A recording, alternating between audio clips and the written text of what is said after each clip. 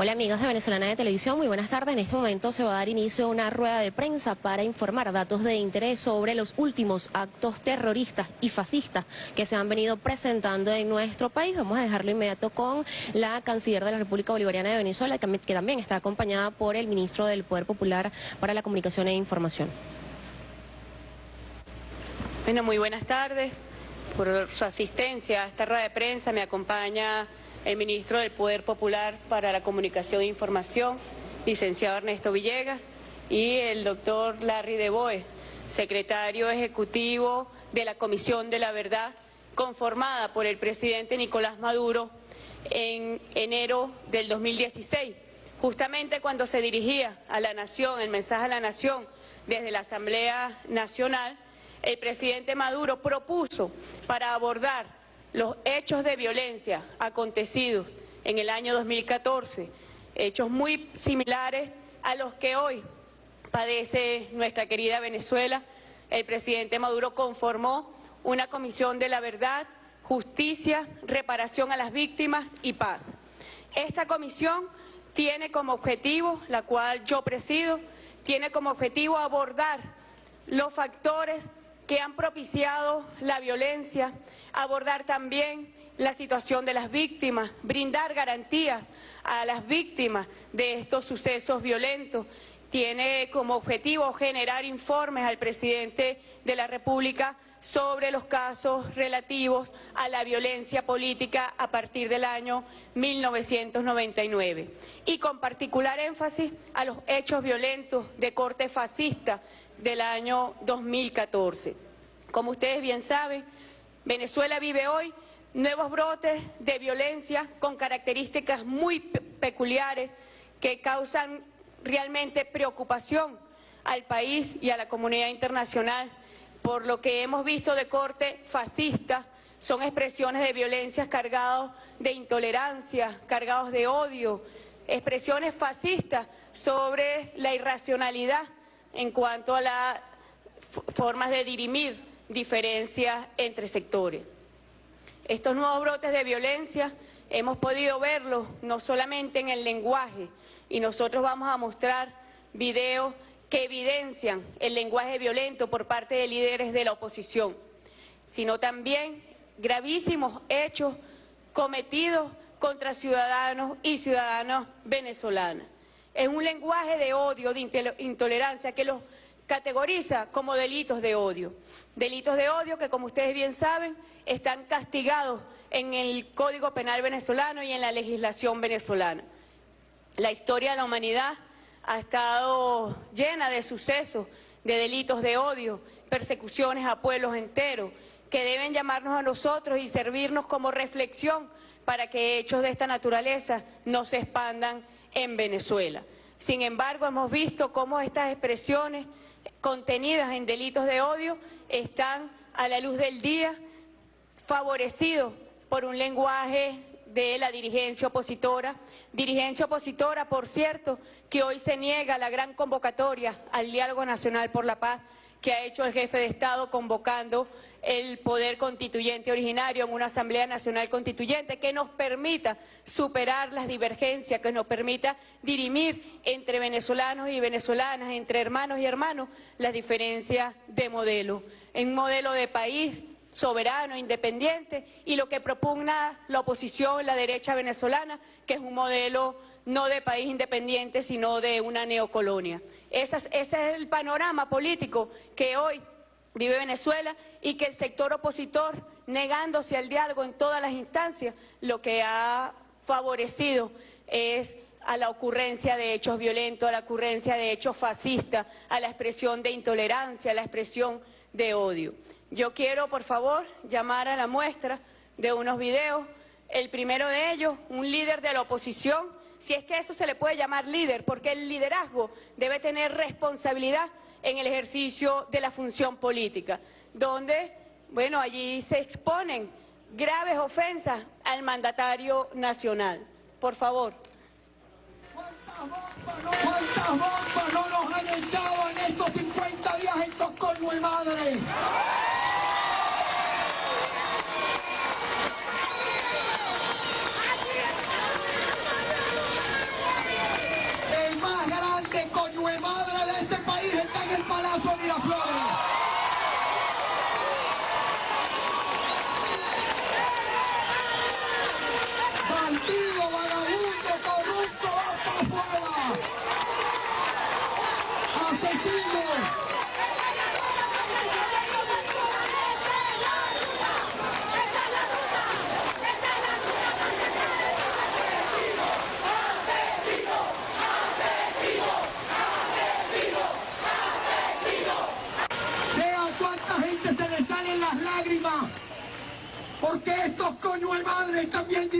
Familia venezolana.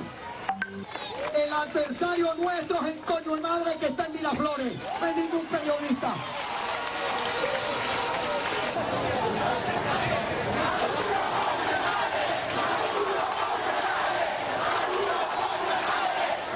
Hay hambre. ¿Cuántas personas no comen de la basura? Y el único que engorda hoy en Venezuela es el madre Miraflores.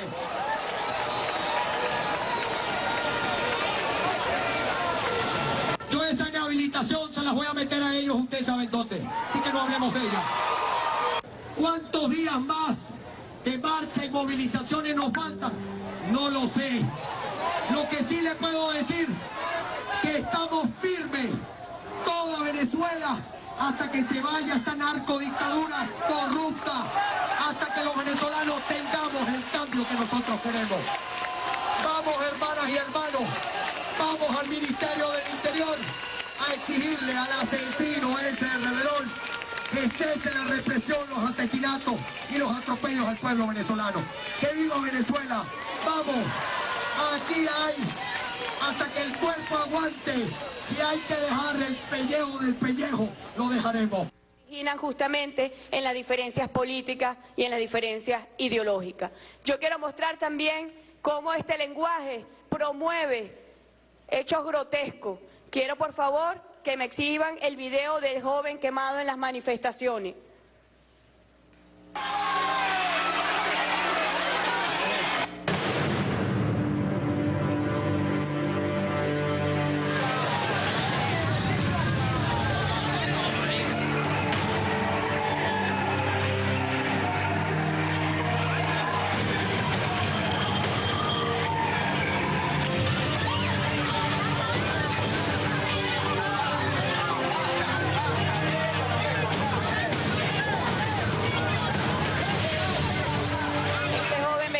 Como ustedes bien saben, fue señalado por ser chavista entre la manifestación opositora, lo cual originó que fuera apuñaleado y también incendiado. Son situaciones grotescas que no deben repetirse.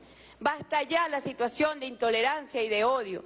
Ya habíamos detectado un caso muy similar donde también otro joven venezolano había sido quemado por ser en aspecto, lo cual evidencia también el corte racista y clasista de la oposición venezolana, por ser en aspecto un joven del pueblo, por ser en aspecto un militante chavista. Pero yo quiero también exhibir el video de un joven que fue golpeado en manifestación nuevamente por su apariencia chavista, por su apariencia de hombre del pueblo, por su apariencia de hombre humilde, fue golpeado también este joven venezolano en una manifestación opositora.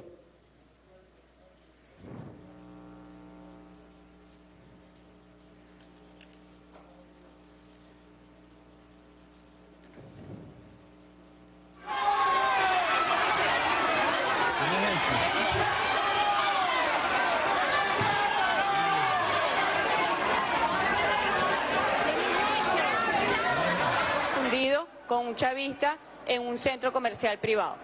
Al margen de esto, yo quiero señalar que estos delitos de odio están perseguidos y penados por la ley venezolana. Y en el marco justamente de la Comisión de la Verdad, nosotros muy pronto entregaremos un informe al jefe de Estado evidenciando el estado de los casos y el desarrollo ya definitivo sobre los casos que conoce la Comisión de la Verdad.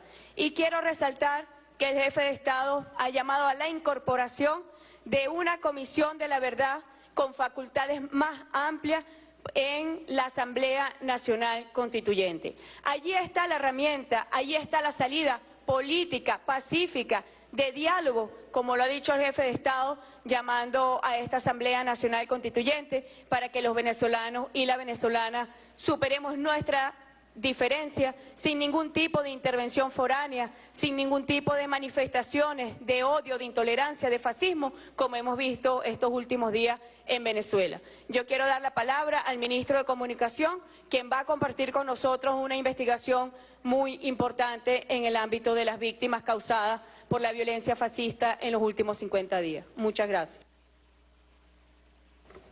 Gracias, canciller. Un saludo a todas y a todos, particularmente quienes nos sintonizan desde sus hogares. Voy a pedir un micrófono de barquilla para acercarme al,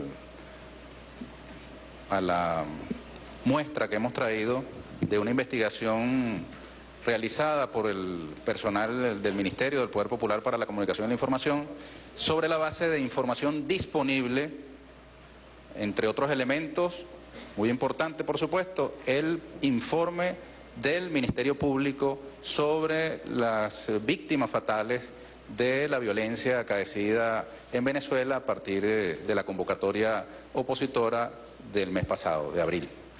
Hemos hecho una investigación que ha ubicado eh, la condición de cada una de estas víctimas que debe llamarnos a la reflexión. Su memoria nos obliga. Todas las vidas valen exactamente lo mismo, independientemente de su edad, eh, género, condición social, el lugar donde hayan caído, la bandera política que hayan alzado, los métodos incluso que hayan eh, aplicado para la expresión de su postura política. Todas nos duelen exactamente lo mismo y lo que queremos precisamente con esta presentación es evitar que esa lista crezca.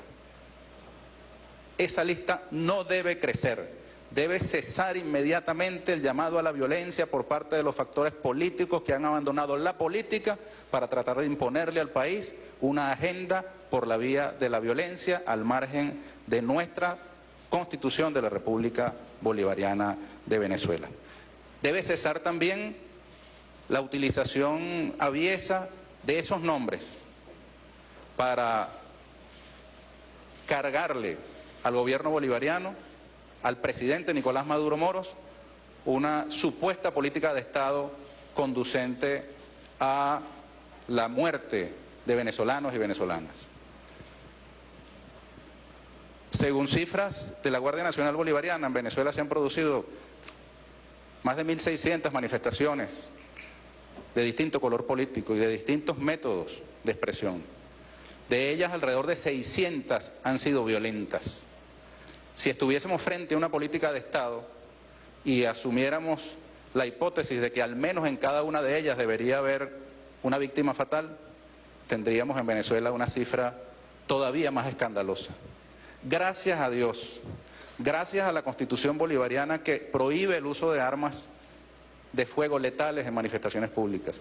Y gracias a que el presidente Nicolás Maduro Moros dio la orden expresa de que los cuerpos de seguridad del Estado atendieran el control de manifestaciones sin siquiera el uso de escopetas, reduciendo a otros métodos aceptados en la legislación internacional para el control de manifestaciones públicas, nosotros no estamos llorando hoy una tragedia mayor.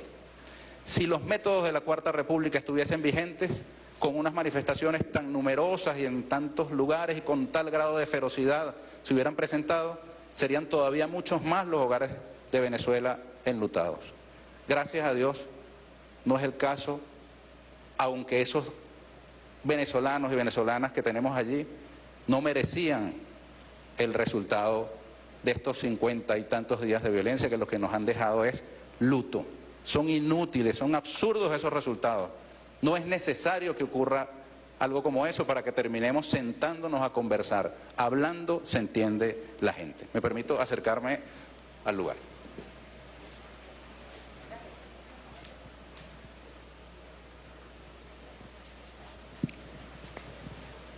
En primer lugar, quisiera mostrarles estos venezolanos que fueron víctimas de barricadas. Ángel Moreira, Ana Colmenares, María Guanipa, Oliver Villa, Efraín Sierra, Carlos Hernández. Venezolanos que tratando de ejercer su derecho al libre tránsito encontraron la muerte. Uno de ellos, un muchacho en moto que se topó con una barricada y un vehículo que intentó esquivarla, esquivarlo, terminó arrollándolo. Quiero antes de proseguir, pedir un video, rapidito, muy breve, del señor Henry Ramos Ayub anticipando víctimas que todavía no habían ocurrido. Veamos.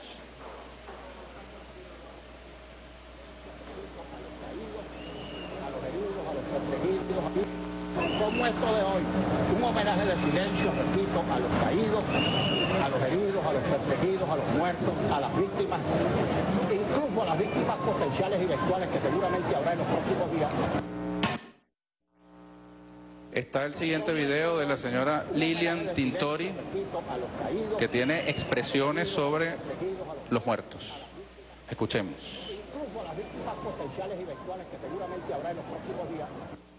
Fuerza, estudiantes,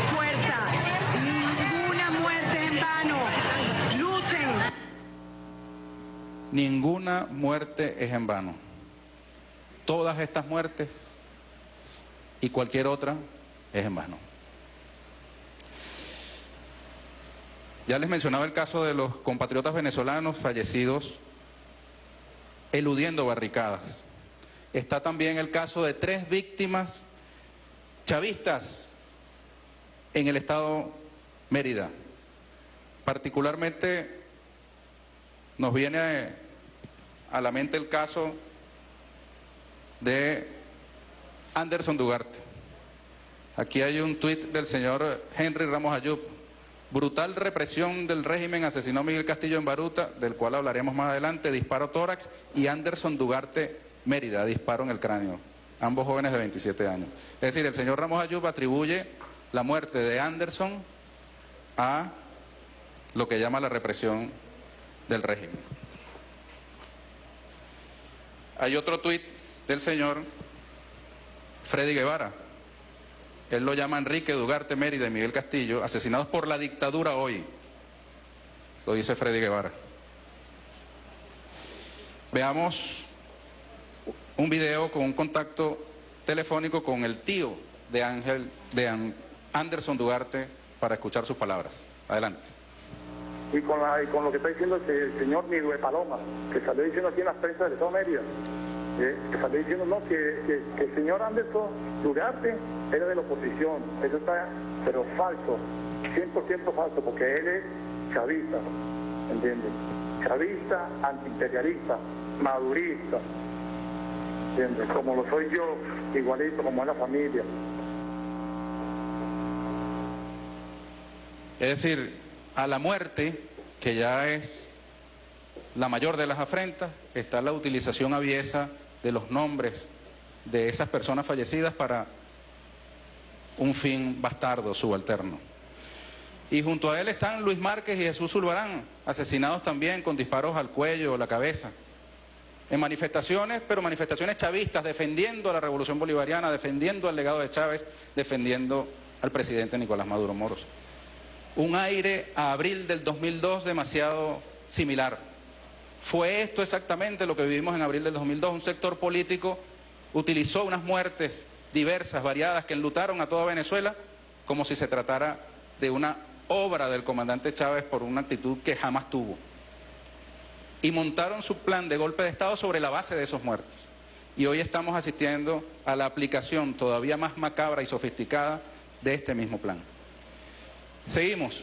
Aquí están cuatro casos de venezolanos militantes de la Revolución Bolivariana que fueron víctimas de sicariato. Se encontraban en asambleas en la calle, en manifestación, ¿cierto? Dos de ellos en el estado de en una asamblea estudiantil de estudiantes revolucionarios y bolivarianos, Juan Bautista López y César Guzmán. Tenemos el caso del compañero chileno José Muñoz Alcolado, asesinado aquí en el, estado, en el distrito capital, en un restaurante, militante revolucionario, que estaba trabajando por la causa revolucionaria precisamente desde la lucha social. Había venido a Venezuela a cumplir los sueños que la derecha fascista interrumpió en el Chile de Allende. Había venido aquí a materializar los sueños de la justicia social, de la inclusión, que allá condujo a una larga dictadura que aquí no podrán imponer.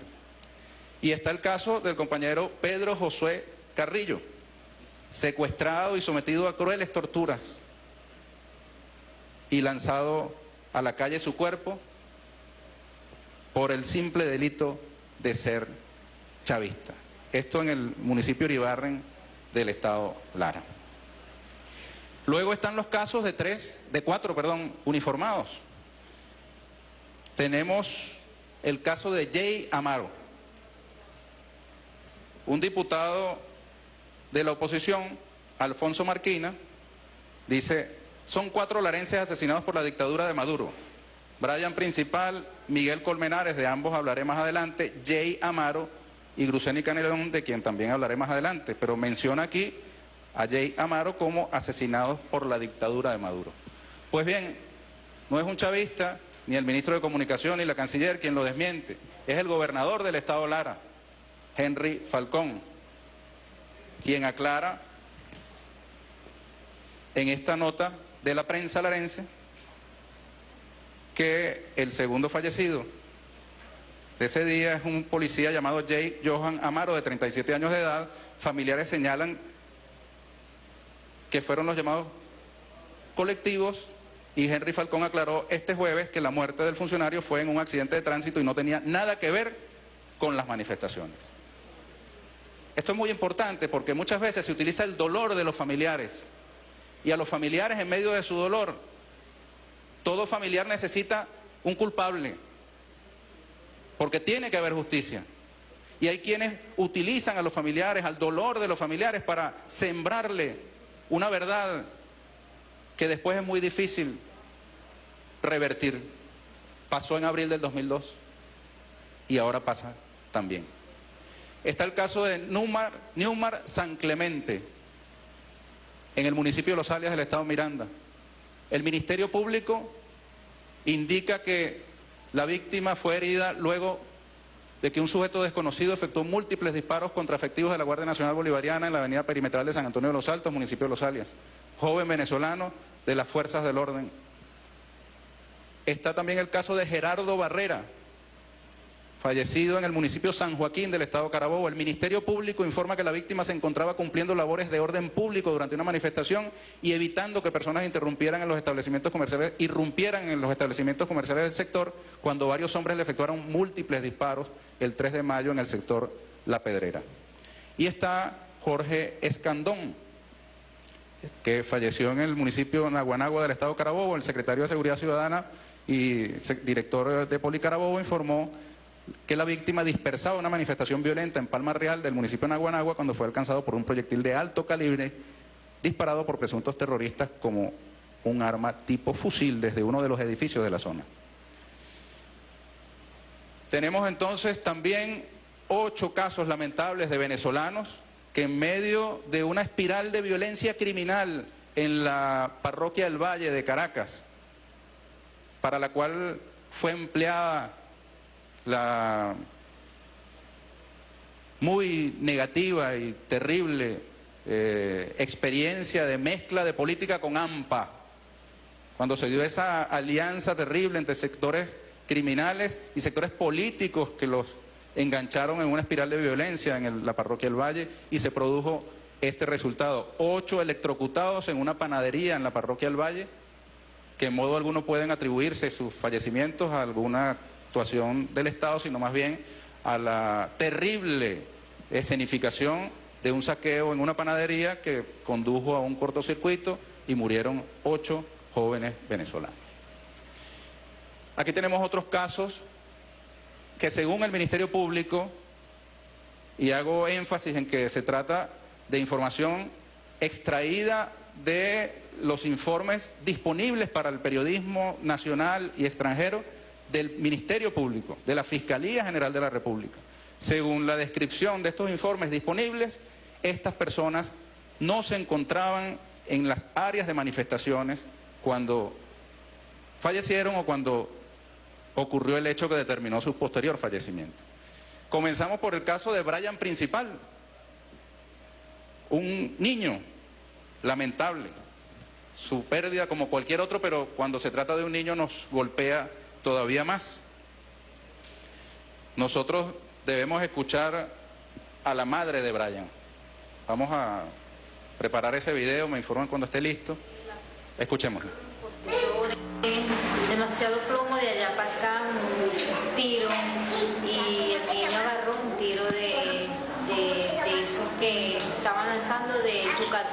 Hacia la ciudad socialista y primera. Yo lo que deseo es que este caso no quede impune, sino que se haga justicia. Justicia porque era un niño de 14 años, una vida por delante, por vivir y luchar por su sueño. Bien, Brian es uno de los millones de venezolanos incluidos por la revolución bolivariana a través de la Gran Misión Vivienda Venezuela. Y se encontraba allí en su lugar de vivienda cuando unas bandas criminales, porque no tienen otro nombre, arremetieron contra las personas que estaban allí defendiendo el lugar de su residencia y todo el simbolismo que significa la Gran Misión Vivienda Venezuela. Hay registro audiovisual del logotipo de la Gran Misión Vivienda Venezuela impactado por proyectiles disparados por los agresores. Y si eso ya en sí es doloroso, triste e indignante, también lo es que se le dé un uso bastardo desde las filas de la oposición venezolana cuando la señora Lilian Tintori dice lo siguiente, sigue la represión brutal en el Estado Lara, qué tragedia la muerte de Brian, un niño que apenas 14 años soñaba con un mejor país. Quien lee esto obviamente atribuye este fallecimiento a una política de Estado, una decisión de gobierno, pero ya hemos escuchado a la madre de Brian, que lo único que clama es justicia. El caso de Brian ha sido muy utilizado y también la señora María Corina Machado se hace eco de esta tesis. Dice, así es Sergio, citando un periodista, Sergio Novelli, un régimen criminal que arremete contra jóvenes que han crecido en dictadura y claman por libertad, héroes. Es decir, que el joven Brian, de ser un símbolo de la inclusión de la revolución bolivariana, pasa a ser bandera de un sector político que justamente quiere arremeter contra el modelo de inclusión del cual era símbolo. Fíjense ustedes lo macabro que significa todo esto. Está el caso de la señora Almelina Carrillo, que muere nada más y nada menos que transitando por el lugar donde pasaba un fragmento, una fracción de una gigantesca movilización chavista. Y desde lo alto de un edificio de la parroquia La Candelaria, un individuo lanza un objeto con un líquido congelado. Y la señora Almelina recibe el impacto. Veamos el tuit que precedió estos hechos. Tulio Hernández, si cada venezolano demócrata neutraliza a un miembro del Plan Zamora, están militarmente derrotados. Se vale hasta materos. Este tuit ocurrió o salió a la luz pública el 18 de abril y el día siguiente veamos lo que pasó.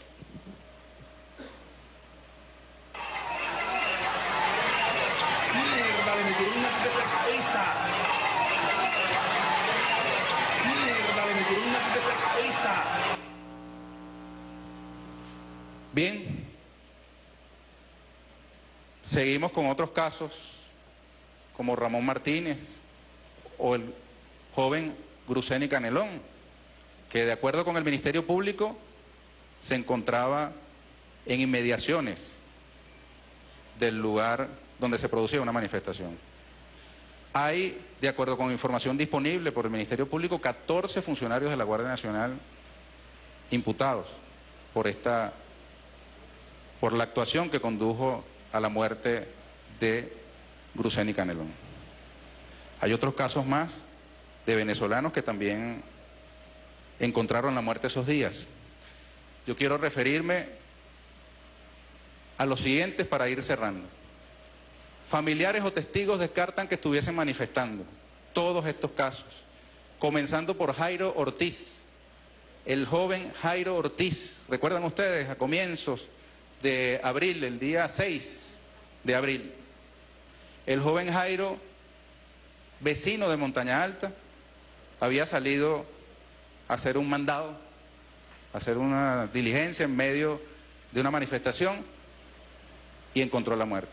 Un funcionario público, policía de tránsito, desenfundó su arma. Inmediatamente el 6CPC determinó su responsabilidad. No estaba ejerciendo funciones de represión, de control de orden público o cualquier otra que no fuese su presencia allí como funcionario de tránsito. Y la respuesta del Estado automática fue aplicar los mecanismos de la justicia. Pero escuchemos el testimonio del padre de Jairo Ortiz, a ver si su clamor ha sido o no respondido. Mi hijo simplemente estaba pasando por allí, se había encontrado con un amigo. Mi hijo no le gustaba, mi hijo no estaba involucrado en la protesta. Mi hijo simplemente estaba pasando por allí, se había encontrado con un amigo. Mi hijo no le gustaba meterse en política. Mi hijo tenía otras aspiraciones. Mi muchacho eh, simplemente pues, eh, se dedicaba a sus poemas.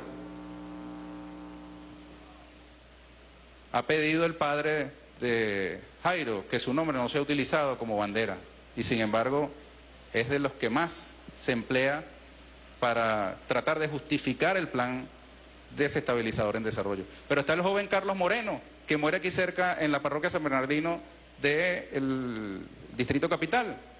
El responsable, un funcionario de la policía de Sucre, del municipio Sucre del estado Miranda.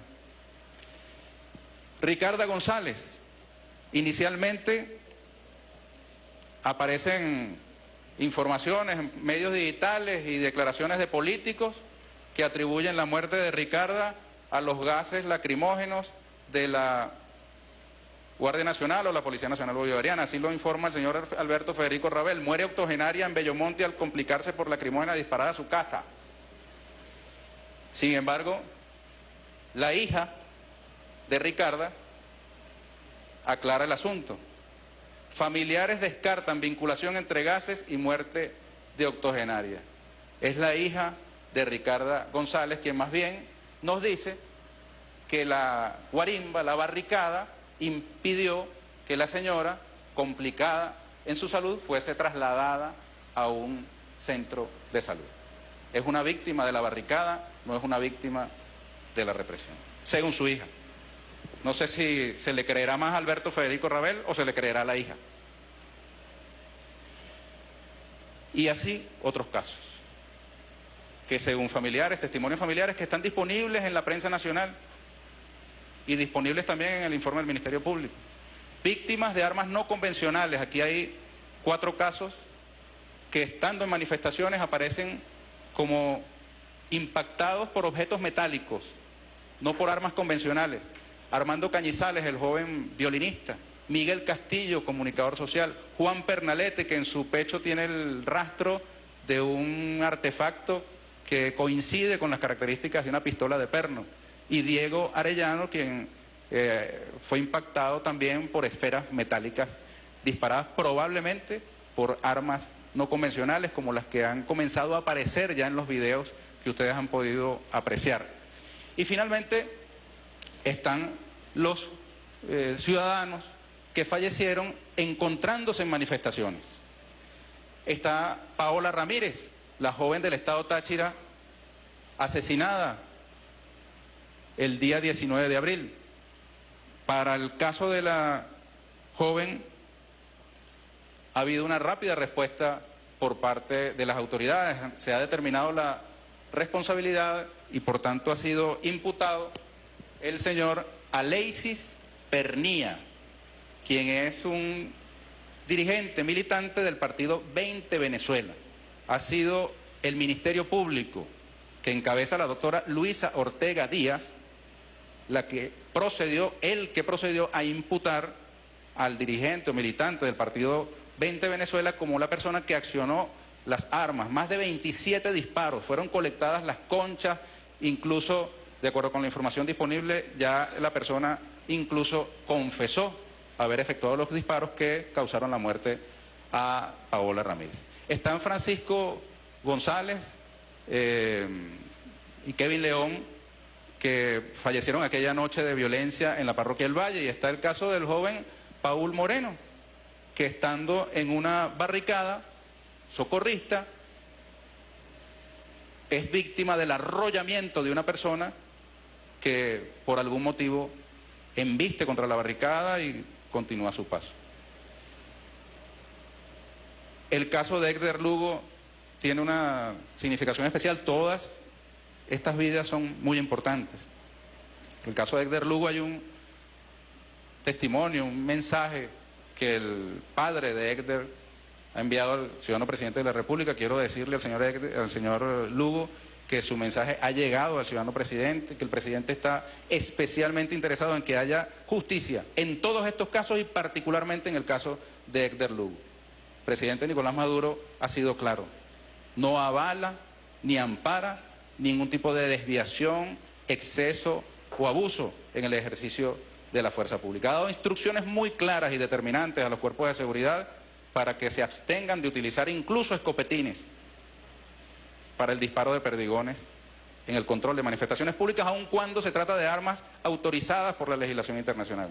Si algún funcionario en algún lugar, en medio de situaciones dramáticas, déjenme decirles, llega a desobedecer esas órdenes, se enfrenta a la aplicación de la justicia. Debemos al mismo tiempo también reivindicar el trabajo de la abrumadora mayoría, del 99.99% de los hombres y mujeres que componen la Guardia Nacional Bolivariana y la Policía Nacional Bolivariana en el control de manifestaciones públicas. La estrategia de lanzarles excremento, además de lo repugnante que resulta, tiene una motivación política. Y es que en la estrategia del llamado golpe suave, de las llamadas revoluciones de color o la llamada no violencia, lo que aspiran sus promotores es que la fuerza del Estado caiga en la provocación de excederse en su respuesta. Lo han dicho con todas sus letras. Y por eso el uso del excremento. Ustedes se imaginan a un hombre, una mujer venezolana, llevando horas y horas y horas de ataques de esa naturaleza, que siendo seres humanos también sienten, padecen, tienen sangre en sus venas.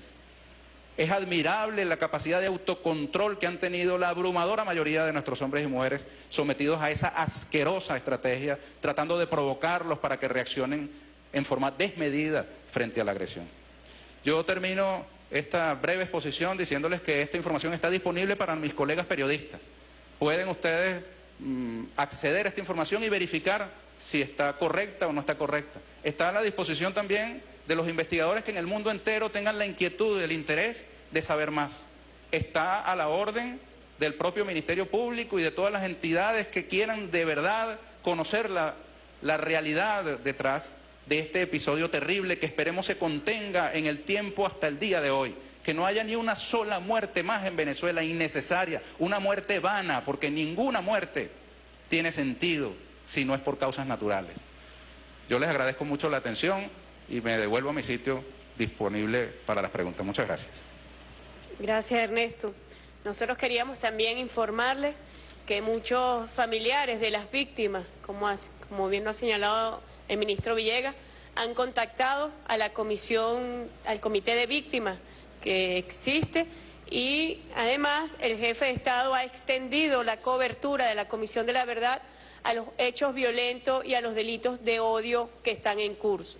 La Comisión de la Verdad, Justicia, Reparación de las Víctimas y Paz atenderá entonces los hechos violentos de este año, así como los delitos de odio. Con mucho gusto responderemos las preguntas de que hubiere lugar. Para iniciar la ronda de preguntas, en primer lugar por la agencia Reuters, Daisy Buitriago. Buenas tardes. Eh, mi pregunta tiene que ver un poco cuáles son los pasos a seguir que tiene esta comisión presidencial y si esta investigación ustedes la van a hacer llegar o la van a coordinar con la Fiscalía, que también está haciendo una investigación. Y otra, una duda que tengo con respecto al ministro de Comunicación mencionó 60 muertos. ¿A qué se refería específicamente? Creo que en la cartelera no hay como 55, algo así, para que me precise esa cifra que dio. Y dentro de qué caso los está englobando. Y mi última pregunta es si desde esta comisión se ha evaluado la actuación de los cuerpos, de las fuerzas de seguridad en el control de las manifestaciones, dado eh, que hay denuncias de, de impactos de lacrimógenas de manera vertical y también algunos arrollamientos de unidades antimotín. Entonces quería verificar si desde esta comisión también se ha evaluado como parte del Estado la actuación de esos cuerpos de seguridad. Muchas gracias. Gracias a ti. Eh, comienzo por tu última pregunta. En esta comisión se entenderá, una vez que ya existan privados de libertad por los hechos imputados atendiendo la violencia que está en curso y los delitos de odio ya expresados. Una vez que se conozca, tenga desarrollo en, frente a los órganos de investigación judicial, y la Comisión de la Verdad podrá tener cobertura al respecto. Sobre la coordinación con la Fiscalía, yo debo recordar que la Fiscalía forma parte de la Comisión de la Verdad y cualquier trabajo pues se hace directamente en coordinación, así como con la Defensoría del Pueblo. Sí, eh, comenté al principio de la intervención que nosotros en la investigación que realizamos está, por supuesto, cotejable plenamente por parte de los colegas periodistas, determinamos la existencia de 60 casos de violencia que están asociados a esta convocatoria. Discrepan estos números de otras eh, cifras porque no incluyen, por ejemplo, los que he mencionado de víctimas eh, chavistas de sicariato. Eh, nosotros tenemos, en efecto, esos 60 casos. Vamos a entregarle vía correo electrónico la lista a cada uno de los periodistas aquí presentes y a todos los que estén interesados, de modo que puedan ustedes cotejar la información que les estamos entregando. En segundo lugar, por prensa latina, Miguel Fernández. Sí, muy buenas tardes. Eh, quería hacer dos preguntas en particular. a mí me resulta muy curioso eh, cuando ustedes explicaban la Comisión de Delitos de Odio. Antes de venir a Venezuela, yo estuve un año en Siria y muchas de las cosas que estoy viendo suceder en Venezuela hoy las vi hace dos años en el Medio Oriente. Quemas de seres humanos, eh, despliegue de, de odio eh, entre grupos sociales y de pronto esto se está repitiendo aquí, día a día, y es parte de la rutina de los últimos acontecimientos en Venezuela y todo bajo la esencia de una supuesta defensa de los derechos humanos. Y mi pregunta, en tanto eh, se, se están garantizando y cómo se están garantizando los derechos humanos del resto de las personas que no tienen que ver con esta violencia.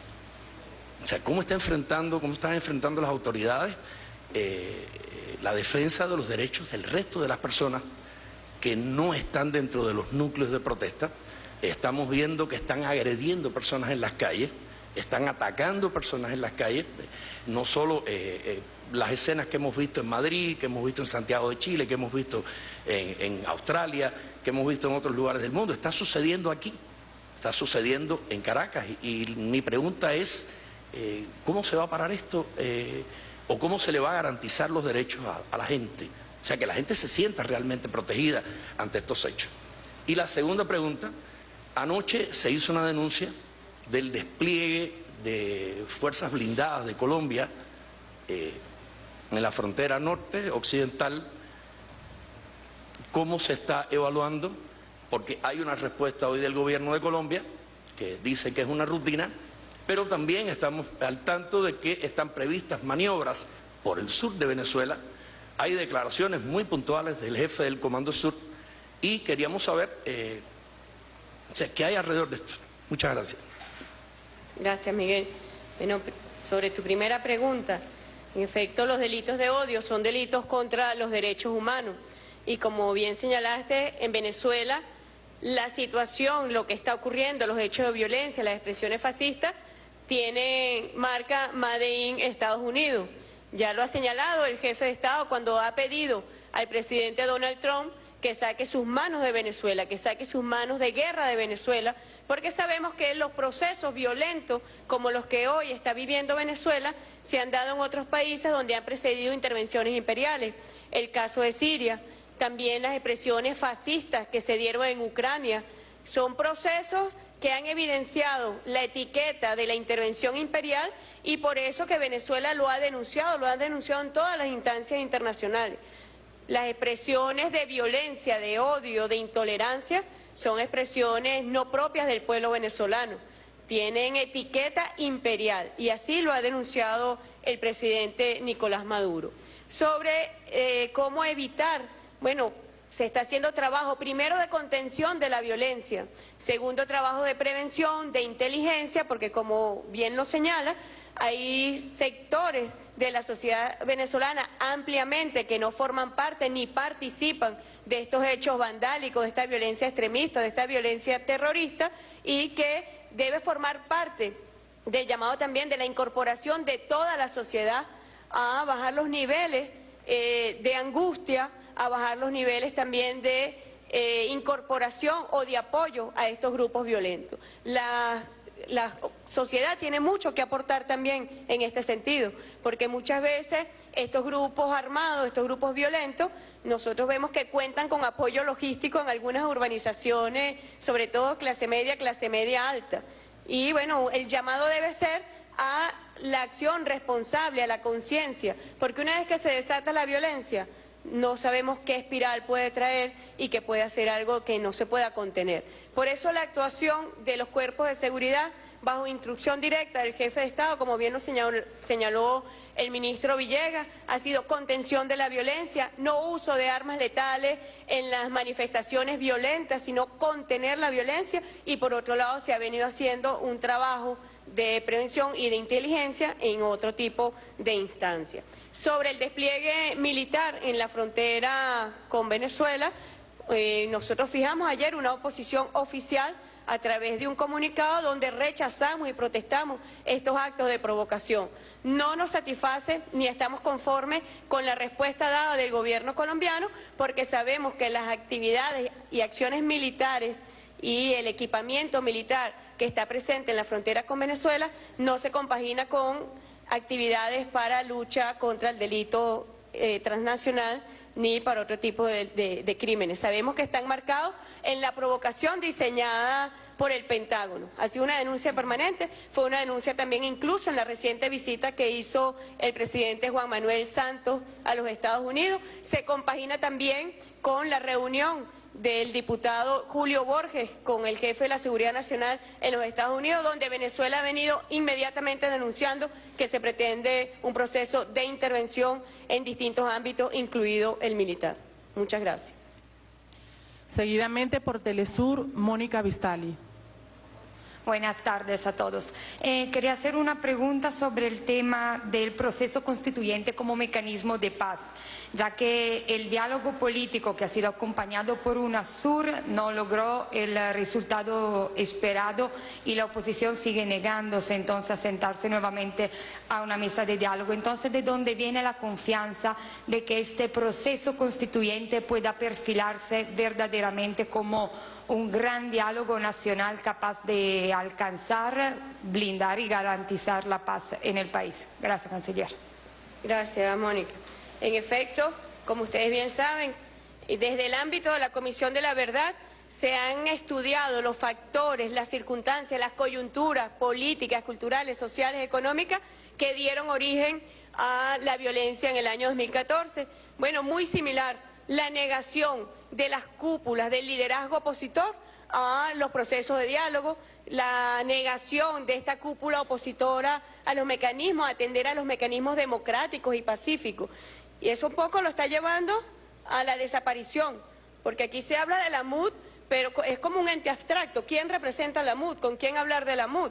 Ha ido un proceso degenerativo acompañado de este proceso que se ha incrementado de violencia. Frente a los canales que fueron obstaculizados por la oposición que se negó al diálogo, bueno, se han repetido nuevos brotes este año 2017. El presidente Maduro llamó a superar justamente a ese liderazgo, que se está viendo superado porque la mayoría de los sectores, como bien lo informó hoy el presidente de la Comisión Presidencial para la Asamblea Nacional Constituyente, atendieron el llamado a las reuniones, están atendiendo este llamado al diálogo y nosotros tenemos la absoluta certeza, porque hemos recorrido el país entero, que las más amplias bases de ciudadanos y ciudadanas se van a incorporar a este proceso constituyente. Tenemos plena confianza por lo que hemos visto. Ya la gente está entusiasmada en lo que será uno de los eventos electorales más grandes que ha conocido la historia de Venezuela en sus últimos años. Frente a la violencia, la constituyente, frente a la intolerancia, la constituyente, frente al odio, la constituyente, frente a la negativa del diálogo democrático